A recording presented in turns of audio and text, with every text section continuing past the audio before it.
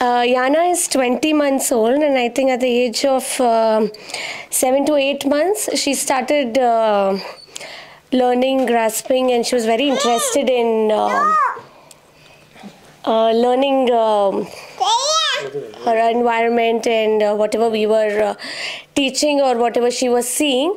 So we created a nice environment for her, and uh, we could see that she was very um, grasping it well, and that that way we were helping her.